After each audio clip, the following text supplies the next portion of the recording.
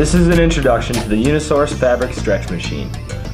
The first thing you'll need to do is hook up an air supply to the stretch machine. There are two regulators, which should each be set at 60 pounds per square inch. They should control the hand and foot mechanisms. Hand control raises and lowers the panel on the machine. The foot control is used to lock the fabric in place. Now you're ready to set up for your first panel. Measure both the height and width of the panel so you can select the proper size fabric bars. You'll need to select four bars for the stretch machine, two marked with an H for the height and two marked with W for width. Select the bars needed and move them to the machine. Place the bars into the slides on the machine, one on the outside and one on the inside, with the foam sides facing each other. Lock the bars in place with the pins supplied. There should be two pins for each bar. Pull the arms of the machine apart so that the bars don't hit each other as you're setting up.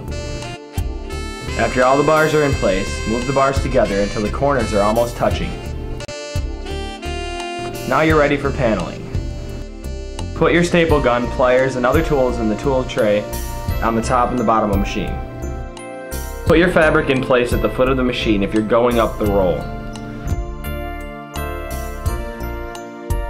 Now place a panel in the center of the table. Drop the panel in place using your hand control. Spread the fabric out over the panel so it overlaps the bars and the head of the table by about an inch. Now tuck the fabric in between the bars. Pull it tight at the corners and lock the fabric in place. Don't worry about pinching your fingers. There is not enough pressure to hurt. Just pull the fabric in place and lock it with the foot pedal. Raise the panel with hand control. This will stretch the fabric so you can staple. Each person staples one side and one end of the panel, starting at opposite corners, so they are not directly across from each other. Once all sides are stapled, cut off the excess fabric with your hot knife. Leave the panel in the up position so that the fabric falls away as you are cutting. Now release the foot pedal and pull the excess fabric out. Flip the panel and you're ready to cover the other side.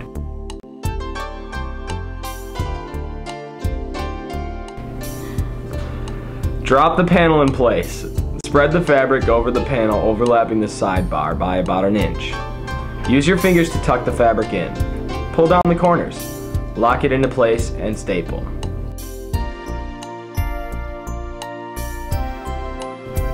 Cut with your hot knife. At the end of the roll, you'll need to trim it even with the roll so you can throw away the excess. Now the panel is ready to move to the assembly operation. First thing you need to do is prepare your hardware. Panel shell, hanger frames, connector blocks, and screws should all be at the A frame table. Put a fabric covered panel on the top and you're ready to go. Match your hardware up preparing to assemble the side of the panel. Use a scrap piece of top cap to line the panel shell up to the top of the panel. You want it to be flush with the top cap and the sides of the panel.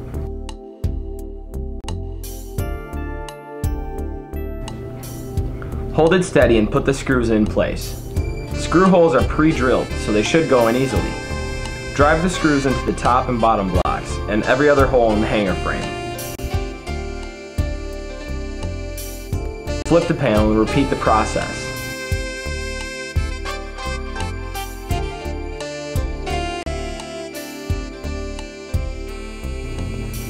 Make sure that the hanger frame is flush to the top cap.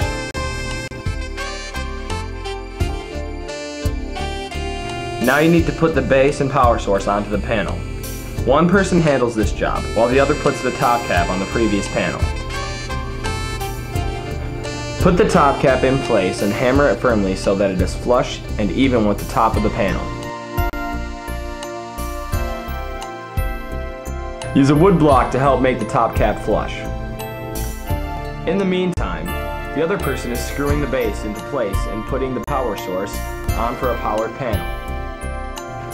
After the person finishes putting on the top cap, the same person begins setting up the hardware for the next panel.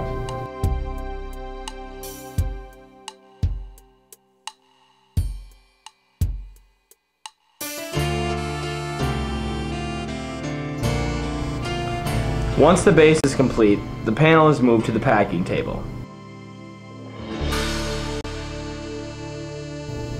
Put another panel into place on the A-frame and start with the trim process.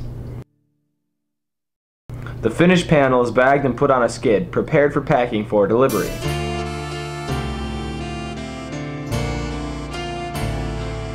This video demonstrates the fundamental use of Unisource's fabric stretch and panel assembly process. If you have any further questions or problems, Unisource is here to help.